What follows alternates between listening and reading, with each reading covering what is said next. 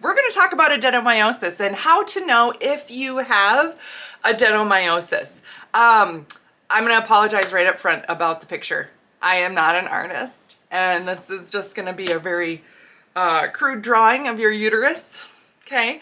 Um, but hopefully it helps kind of get that information across and helps you understand what adenomyosis is, um, if you might have it, because getting officially diagnosed with adenomyosis can be really frustrating. Really, really frustrating. Uh, it can take multiple, multiple doctor's appointments. I, I, know women that have gone into the doctor, you know, 12 different times to figure out if they have adenomyosis. Um, seen, you know, 10 different doctors, all of these things over the course of a decade. So it can be really frustrating. You can try to get a CT or an MRI, but again, sometimes that's not even definitive enough. They're going off of symptoms and everything else too. So I'm Dr. Beth Westie, women's health and hormone expert, author of the books, The Female Fat Solution and The Female Menopause Solution. These are on Amazon where you can learn more about how to eat for your hormones in your cycle. So there's that. Um, I also am the host of the podcast, The Female Health Solution. You can subscribe there as well as subscribe to my YouTube here and that way you can stay updated on all the information I have coming out and all of the things um, where I'm trying to educate women on their health and their hormones and different things you can do. So when we talk about this, the overwhelming piece with adenomyosis, we're going to be talking about pain and issues there.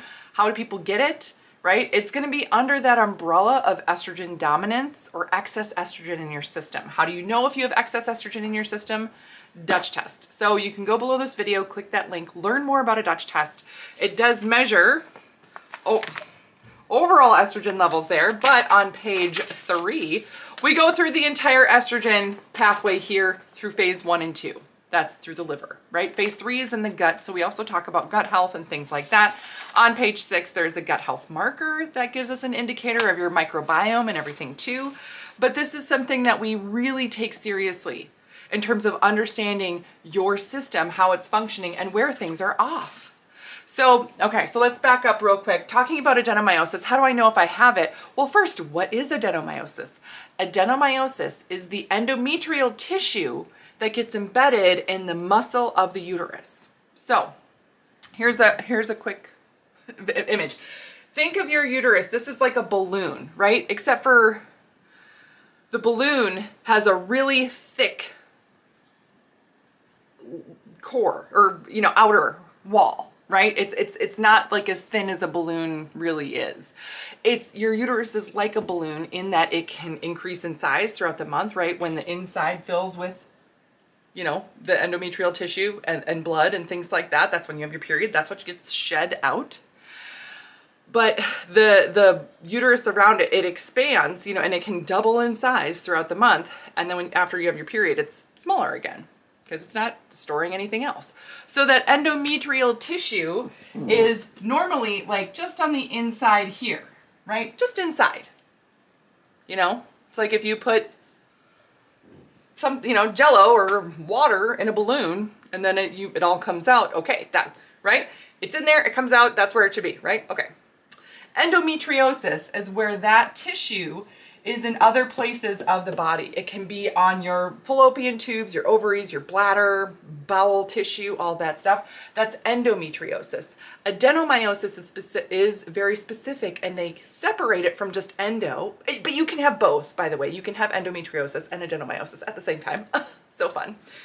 But adenomyosis is that endometrial tissue within the uterine lining, this muscle the muscle here. So that means that even if you don't have that endometrial tissue built up, it's going to be in that lining. Now, why is this significant? Because it is so painful to have it there. Your endometrial tissue is different than the, than the uterine tissue. Your uterus is a muscle, right? It's smooth muscle though. You have different types of muscle in your body. So sometimes this can be helpful to understand just anatomically what's going on, right? You have three different types of muscle total in the body. Skeletal muscle, which most people are familiar with, like that's my bicep, you know, mm, skeletal, mm, boop, right? Cardiac muscle, which is your heart, and then smooth muscle. And smooth muscle is muscle that contracts without you physically thinking about it, right? Like I'm gonna move my finger and that skeletal muscle that burp, burp, burp, burp, that the signal goes from my brain and I have full control of doing that, right? Yes.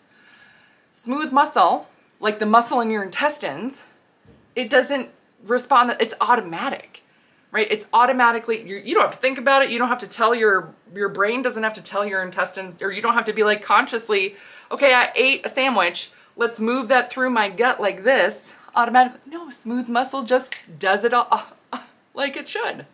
Thank you, smooth muscle. Yes. But it's muscle, right? So you have this other tissue embedded in that muscle. Now, as your uterus grows and fills with blood every month, that muscle is going to stretch. Imagine having scar tissue, right? in there and it's stretching, that's going to be extremely painful for a good chunk of the month, right? Because it's not it, it's not the same stretchy tissue, it's not responding the same, it, it's not going to feel good, right? And then when you have your period, because the uterus comes down again and changes again very rapidly, right? So your uterus grows in blood throughout several weeks slowly storing it up, and then all of a sudden, within several days, whoosh, it empties it all out. So that's a slow grow, and then all of a sudden, whoosh, quick release, per se.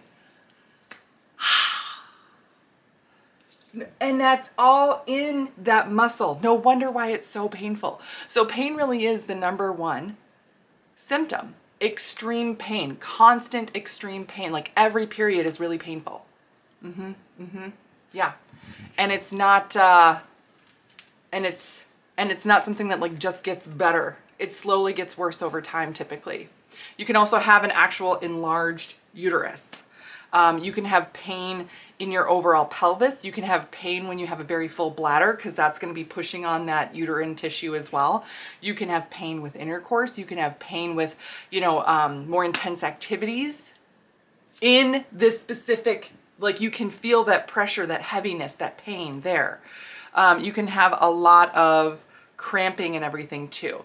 But the other symptoms that go along with it are honestly um, the estrogen dominant symptoms, the excess estrogen symptoms. You can have mood swings, you can have heavier periods, you can have clots, you can have breast tenderness, all those things too. What I find, and this is just clinically, what I find is that a lot of women who have adenomyosis might not even register some of their mood swings or other things because the pain is so severe. Again, because of where this is located and how every single month it will be that painful because of the uterus growing and then coming back down again. And the rapid rate that that happens. And it's not allowing it to stretch correctly.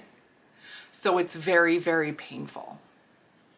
That's adenomyosis. But one of the things we look at and in terms of um, helping your system you know work better and decrease the pain with is looking at that excess estrogen because the body never does anything without a reason right?